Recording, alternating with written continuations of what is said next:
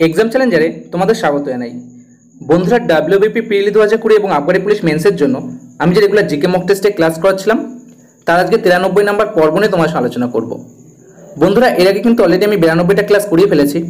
তোমরা যদি সেই ক্লাসগুলো না করে থাকো ভিডিও ডেসক্রিপশন চেক করো। সেখানে লিঙ্ক দেওয়া আছে লিঙ্কে ক্লিক করে ক্লাসগুলো করে নিতে পারো। বন্ধুরা, আজকের ক্লাসটি ভালো লাগলে অবশ্যই করে একটা লাইক করবে কমেন্ট করবে এবং শেয়ার করে দেবে তোমাদের বন্ধুদের সঙ্গে। নতুনভাবে চ্যানেলটিকে সাবস্ক্রাইব করে পাশে বেলাইকনটি ক্লিক করতে একদম ভুলবে না। তো আশা করছি সবাই অনলাইনে চলে এসছো, সবাইকে গুড মর্নিং সুপ্রভাত। বন্ধুরা, তোমরা আমাকে বেশ কয়েকদিন ধরে কমেন্ট করছ যে, দাদা, আগের মতন রেগুলার কেন ক্লাস হচ্ছে না?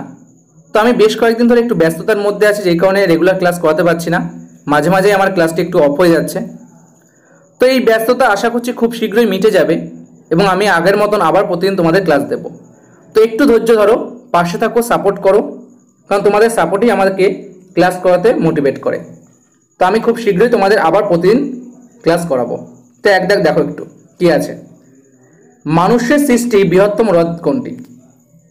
তাহলে কোন হ্রদটি মানুষ দ্বারা সৃষ্টি এবং বৃহত্তম? এই ক্ষেত্রে অপশন সি গোবিন্দ সাগর হয়ে যাবে একদম সঠিক উত্তর। অপশন বি দেখো উলার হ্রদ, যেটি ভারতের বৃহত্তম সাধু জলের হ্রদ, যার অবস্থান কোথায়? জম্মু কাশ্মীরে। বৈকাল হ্রদ রাশিয়াতে অবস্থিত, যা বিশ্বের গভীরতম হ্রদ। প্যাংগং হ্রদ, ভারতের উচ্চতম হ্রদ। নোট করে রাখো, পরীক্ষার পয়েন্ট অফ ভিউতে খুব গুরুত্বপূর্ণ। দুই দাগের প্রশ্ন কি আছে সেটা দেখে নাও। নাসিক কোন নদীর তীরে অবস্থিত? তো এই প্রশ্নের সঠিক উত্তর কী হবে তাতেই লাইভ চ্যাট অ্যান্সার দাও। তো নাসিক হলো গোদাবরী নদীর তীরে অবস্থিত। অপশন সি হয়ে যাবে একদম সঠিক উত্তর। মহানদী নদীর তীরে অবস্থিত যেই শহরটি, তার নাম কি? কটক। তাপ্তি নদীর তীরে অবস্থিত, সুরাট এবং কৃষ্ণা নদীর তীরে অবস্থিত অমরাবতী। নোট করে রাখো, পরীক্ষার পয়েন্ট অফ ভিউতে খুব গুরুত্বপূর্ণ। তিন দাগের প্রশ্ন কি আছে দেখে নিই ভারতের বৃহত্তম কেন্দ্রশাসিত অঞ্চল কোনটি? তো ভারতের বৃহত্তম কেন্দ্রশাসিত অঞ্চল আন্দামান ও নিকোবর দ্বীপপুঞ্জ। এক্ষেত্রে অপশন সি হয়ে যাবে একদম সঠিক উত্তর। যদি প্রশ্ন থাকতো ক্ষুদ্রতম সেই ক্ষেত্রে অ্যান্সার দিতে লাক্ষাদ্বীপ। লাক্ষাদ্বীপ হলো ক্ষুদ্রতম কেন্দ্রশাসিত অঞ্চল। তো নেক্সট প্রশ্ন কে আছে দেখে নিই ভারতের বৃহত্তম রাজ্য ক্ষেত্রফল ভিত্তিক। তাহলে ক্ষেত্রফল ভিত্তিক রাজ্য হচ্ছে রাজস্থান, যেটি আয়তনের দিক থেকে সব থেকে প্রথম। ক্ষেত্রফল ভিত্তিক প্রথম রাজস্থান। যদি বলা হতো জনঘনত্বর দিক থেকে, সেই ক্ষেত্রে অ্যান্সার দিতে বিহার, যেটি জনঘনত্বর দিক থেকে প্রথম। এবং উত্তরপ্রদেশ হচ্ছে জনসংখ্যার দিক থেকে। নোট করে রাখো, মধ্যপ্রদেশে কিন্তু সব থেকে বেশি বনভূমি রয়েছে। যদি বলা থাকে বনভূমির দিক থেকে প্রথমকে অ্যান্সার দিয়ে দেবে মধ্যপ্রদেশ। পাঁচ দাগ দেখো কি আছে। মেঘনা কোন দুটি নদীর মিলিত প্রবাহ। তো মেঘনা হলো গঙ্গা এবং ব্রহ্মপুত্র নদীর মিলিত প্রবাহকে বলা হয়। ছয় দাগের প্রশ্ন দেখো কি আছে? বিহারের দুঃখ কোন নদীকে বলা হয়? বিহারের দুঃখ বলা হয় অপশন বি কোশি নদীকে। খুব গুরুত্বপূর্ণ তোমাদের পরীক্ষার পয়েন্ট অফ ভিউতে স্টার মার্ক দিয়ে রাখলাম, খুবই গুরুত্বপূর্ণ কিন্তু এই প্রশ্নটা। কোশি নদীকে বিহারের দুঃখ বলা হয়। অপশান এ দেখো, দামোদর নদী, যেটাকে বলা হয় বাংলার দুঃখ। নোট করে রাখো, বাংলার দুঃখ যদি বলা হয়, সেক্ষেত্রে অ্যান্সার দেবে দামোদর। পিএসসিতেও কিন্তু এই কোশ্চেনটা এসেছিল পিএসসি ক্লার্কশিপে তো সাত দাগ দেখো কি আছে? ভারতের পূর্ব উপকূলে কোন বন্দরটি অবস্থিত? ভারতের পূর্ব উপকূলে পারাদ্বীপ অবস্থিত। এক্ষেত্রে অপশন ডি হয়ে যাবে একদম সঠিক উত্তর। তো নেক্সট প্রশ্ন কি আছে দেখো? চিপকো আন্দোলন কিসের সাথে যুক্ত? তো চিপকো আন্দোলন অপশন বি বনভূমি সংরক্ষণের সঙ্গে যুক্ত। উনিশশো সত্তর সালে চিপকো আন্দোলন হয়েছিল। কোথায় হয়েছিল? হয়েছিল উত্তরাখণ্ডে। একটু নোট করে রাখবে, আমি স্ক্রিনের উপর লিখছি হাতে লেখা খারাপ হতে পারে। উনিশশো সত্তর সালে চিপকো আন্দোলন হয়েছিল, যার নেতৃত্ব দিয়েছিল সুন্দরলাল বহুগুণা। একটু নোট করে রাখো, পরীক্ষার পয়েন্ট অফ ভিউতে কিন্তু খুব গুরুত্বপূর্ণ। তো নেক্সট প্রশ্ন দেখো কি আছে। বন্ধুরা ক্লাসটি ভালো লাগলে কিন্তু অবশ্যই এটা লাইক করো। আর তোমরা যদি ক্লাসের আপডেট না পেয়ে থাকো, তাহলে আমাদের টেলিগ্রাম গ্রুপে যুক্ত হও। সেখানে আমি রেগুলার ক্লাসের আপডেট দিয়ে দিই। তাছাড়াও সেখানে ফ্রি স্টাডি মেটেরিয়ালও আমি তোমাদের প্রোভাইড করিয়ে দিই এবং জিকে সেটও কিন্তু ওখানে আমি একদম প্রোভাইড করিয়ে দিই তোমাদের। যেখানে তোমরা প্রতিদিন জিকের একটা করে সেট পেয়ে যাবে, তো অবশ্যই তোমরা টেলিগ্রাম গ্রুপে যুক্ত হয়ে যাও। তো নয় দেখ, দেখো কী আছে। দক্ষিণ ভারতের ম্যানচেস্টার বলা হয় কাকে? তো দক্ষিণ ভারতের ম্যানচেস্টার বলা হয় অপশান এ কোয়েম্বাটুরকে। এক্ষেত্রে অপশান এ যারা বলছো তারা একদম সঠিক উত্তর দিচ্ছ। অপশান বি হচ্ছে বেঙ্গালুরু যাকে বলা হয় সিলিকন ভ্যালি কিংবা উদ্যান নগরী। আহমেদাবাদকে বলা হয় ভারতের ম্যানচেস্টার। গুলিয়ে ফেলবে না। দক্ষিণ ভারত যদি বলা হয়, কোয়েম্বাটুর অ্যান্সার দেবে। যদি বলা হয় ভারতের ম্যানচেস্টার, সেই ক্ষেত্রে অ্যান্সার দেবে আমেদাবাদ মানে যে ক্ষেত্রে দক্ষিণে উল্লেখ না করা থাকবে। চেন্নাইকে বলা হয় ডেট্রয়েট অফ ইন্ডিয়া। নোট করে রাখো, পরীক্ষার পয়েন্ট অফ ভিউতে খুব গুরুত্বপূর্ণ। আর তোমরা যদি টেলিগ্রাম অ্যাপসে যুক্ত হতে চাও, আমাদের ডেসক্রিপশান দেখো ভিডিও ডেসক্রিপশানে লিঙ্ক দেওয়া আছে সবার শেষে। সেখানে গিয়ে তোমরা যুক্ত হয়ে যেতে পারো। তাছাড়াও তোমরা টেলিগ্রাম অ্যাপসে গিয়ে সার্চ করতে পারো বই পেন বলে। বিওআই বই স্পেস দাও, তারপর পিইএন পেন লেখো। আমাদের গ্রুপ চলে আসবে।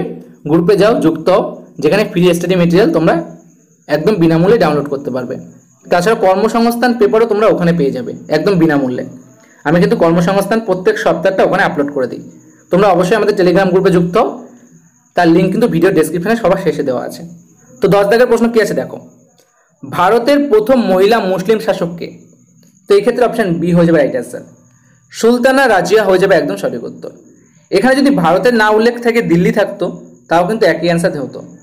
যিনি হচ্ছেন ইলতুত মিসের মেয়ে। এগারো দাগের প্রশ্ন কি আছে। স্বামী দয়ানন্দ সরস্বতী আর্য সমাজ কোথায় প্রতিষ্ঠা করেন? তো স্বামী দয়ানন্দ সরস্বতী আর্য সমাজ প্রতিষ্ঠা করেছিলেন অপশানে বোম্বে শহরে। সালটা কত ছিল একটু নোট করে রাখো। আঠারোশো পঁচাত্তর সালে দশই এপ্রিল স্বামী দয়ানন্দ সরস্বতী বোম্বেতে আর্য সমাজ প্রতিষ্ঠা করেছিলেন।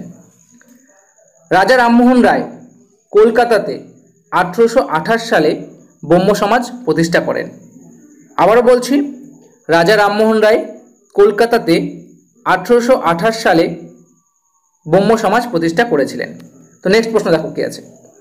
মৌর্য যুগে কলিঙ্গ যুদ্ধ কবে হয়? তা মৌর্য যুগে কলিঙ্গ যুদ্ধ হয়েছিল দুশো একষট্টি খ্রিস্টপূর্বাব্দে। কাদের কাদের মধ্যে হয়েছিল? কলিঙ্গরাজ এবং সম্রাট অশোকের মধ্যে। যেই ক্ষেত্রে সম্রাট অশোক জয়লাভ করেছিল। তো নেক্সট প্রশ্ন দেখো। ইবন বতুতা কোন দেশ থেকে ভারতে এসেছিলেন? তো ইবন বতুতা ভারতে এসেছিলেন মরক্কো থেকে। এবং ইবন বতুতা কার আমলে ভারতে আসেন? মোহাম্মদ বিন তুগলকের আমলে ভারতে এসেছিলেন। নোট করে রাখবে। মধ্য এশিয়া থেকে এসেছিল কারা? আর্যরা এই প্রশ্ন কিন্তু খুব আসে পরীক্ষায়। যে আর্যরা কোথা থেকে ভারতে এসেছিলেন? ঐতিহাসিক ম্যাক্স মুলারের মতে, মধ্য এশিয়া থেকে কিন্তু আর্যরা ভারতে এসেছিলেন। নেক্সট দেখো কি আছে। ইলোরা মন্দিরটি কে নির্মাণ করেন তো ইলোরা মন্দিরটি নির্মাণ করেছিল রাষ্ট্রকূট বংশ। এক্ষেত্রে অপশন সি যারা বলছো, তারা একদম সঠিক উত্তর দিচ্ছ। পাল বংশের রাজা ধর্মপাল, যিনি কিন্তু বিক্রমাশিলা বিশ্ববিদ্যালয় তৈরি করেছিলেন।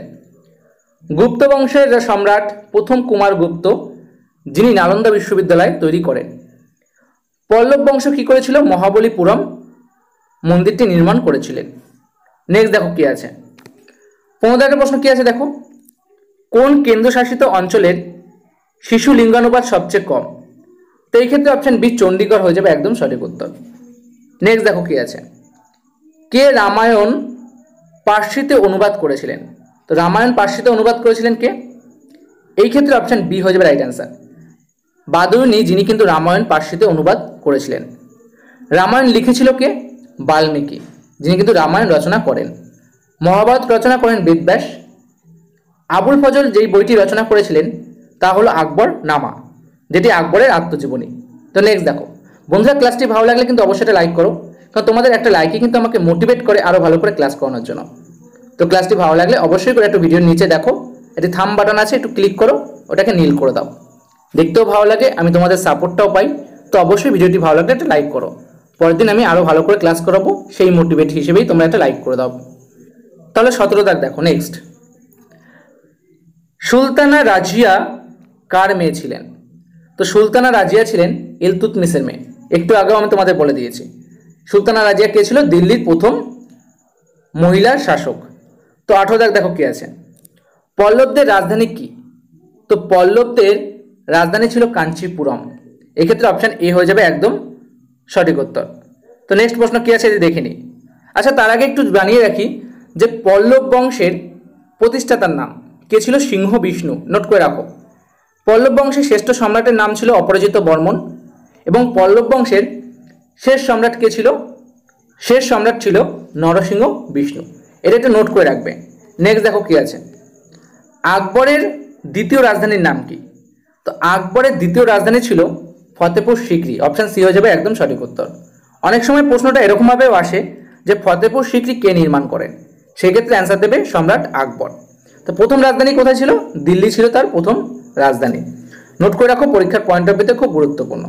কুড়ি দাগের প্রশ্ন কি আছে দেখো। লোদি বংশ প্রতিষ্ঠা কে করেন?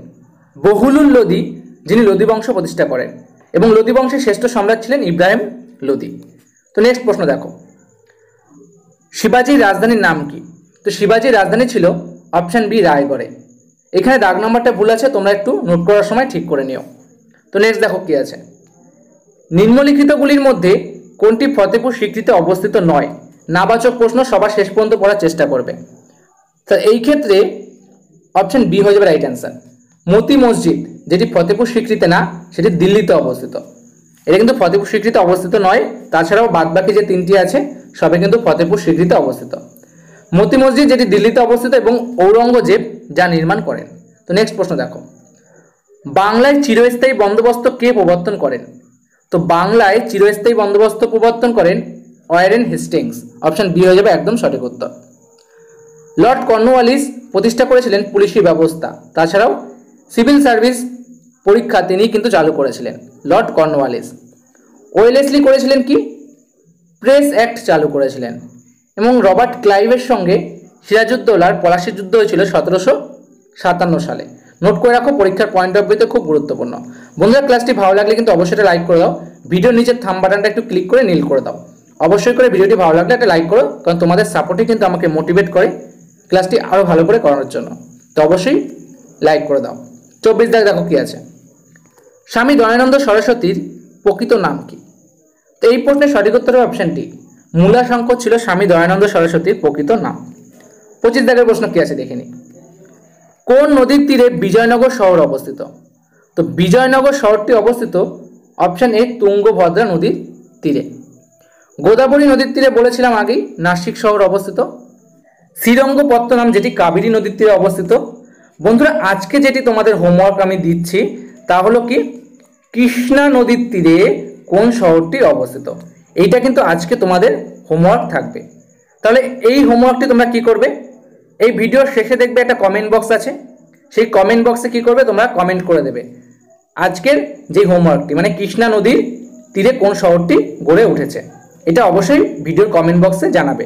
লাইভ চ্যাটে না কিন্তু ভিডিওর কমেন্ট বক্সে তোমরা অবশ্যই করে এই হোমওয়ার্কটি জানাবে। সঙ্গে জানাবে কি তোমাদের স্কোরটি তাহলে কি হবে? আমি সামনের দিন কি ধরনের প্রশ্ন তোমাদেরকে দেব? তোমরা কতটা প্রিপেয়ার হয়েছো সেটা আমি বুঝতে পারব। সঙ্গে অবশ্যই তোমাদের স্কোরটি জানিয়ে দেবে। তো বন্ধুরা, আমি আবারও বলছি, বেশ কয়েকদিন একটু সমস্যা হচ্ছে। একটু ধৈর্য ধরো, আবার আমি রেগুলার ক্লাস করাবো। তো এখন মাঝে মাঝে আমি ক্লাসটি কন্টিনিউ চালাবো। তো একটু ওয়েট করবে, আমি আবার কিন্তু তোমাদের ক্লাসটা প্রতিদিনই নেব। সাপোর্ট করো, পাশে থাকো। তো ভিডিওটি দেখার জন্য অসংখ্য ধন্যবাদ। Thanks for watching